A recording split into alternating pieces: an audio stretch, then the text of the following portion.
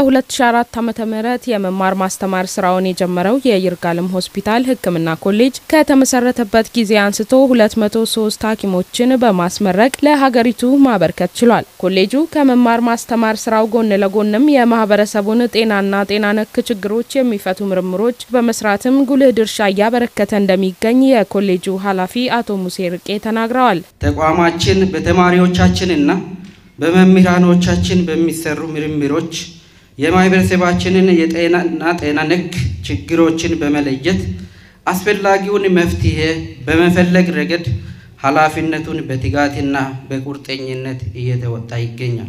አሁን ካሉት የትምህርት ፕሮግራሞች እና አገልግሎቶች በተጨማሪ በሚቀጥሉት አምስት እና አስር ዓመታት ውስጥ በጤና ተቋማቶቻችን ውስጥ እጥረት ባለባቸው የሙያ ዘርፎች በብዛትና በጥራት ስልጠና ለማስጀመር በትኩረት እየተሰራ ነው።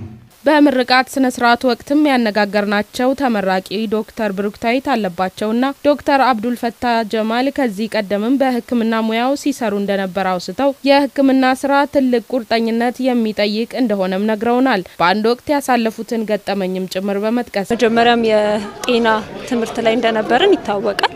ወደዚህ ትምህርት የመጣንበት ምክንያት በእውቀታችን ያለውን ክፍተት ሞልተን ደግሞ በበለጠ ማህበረሰቡን ለማገልገል ነው እዚህ ትምህርት ውስጥ የገባ ነው። ስለዚህ ዛሬ ላይ በተለይ ደግሞ ልክ መድረክ ላይ ሲነገር በጣም በቃ ልብ የሚነካ ነገር ነው። በጣም ደስተኞች ነን። ወደ ማህበረሰቡ ገብተን ማህበረሰቡን ለማገልገልም በጣም ዝግጁ ነኝ። ከንድፍ ሀሳብ ወጥተን ወደ ተግባር ልምድ በገባንበት ሰዓት የህፃናት ወይም የጨቅላ ህጻናት ጽኑ ህሙማን ክፍል ሆኜ በምሰራበት ሰዓት መጀመሪያ የገባው ሰዓት ያለ ጊዜ የተወለደ ህጻን ነበርና ያ ህጻን በእኔ እጅን የወደቀውና የሕክምና ክትል እያረኩለት ባለው ሰዓት እንደ አጋጣሚ እናቱ ጥላው ሄዳ እዛ የቆየሁት ለአንድ ወር ነው። አንድ ወር በሙሉ የሕክምና ወጪውንም እንክብካቤውን በእኔ ስር ነበር ኃላፊነት የጣለውና ከህመሙ ተፈውሶ ከሚመለከተው አካል ተነጋግረን በመስጠቴ በቃ በህይወቴ ትልቁና ደስ የሚለኝ ነገር ይሄ ነው።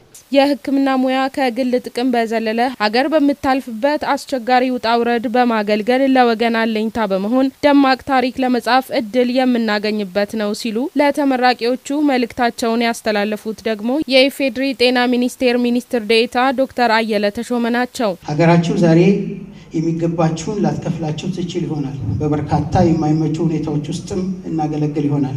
ሀገር በተቸገረችበት ጊዜ ከችግሮቿ ቀና እንድትል የተሳትፎ እድል ማግኘትና የዚያ ትውልድ አካል መሆን ደግሞ የበለጠ እድለኝነት ነው። ታሪክንም በደማቅ ቀለም ጽፈን ለልጅ ልጆቻችን የምናቆየው አኩሪ ገድል ይሆናል።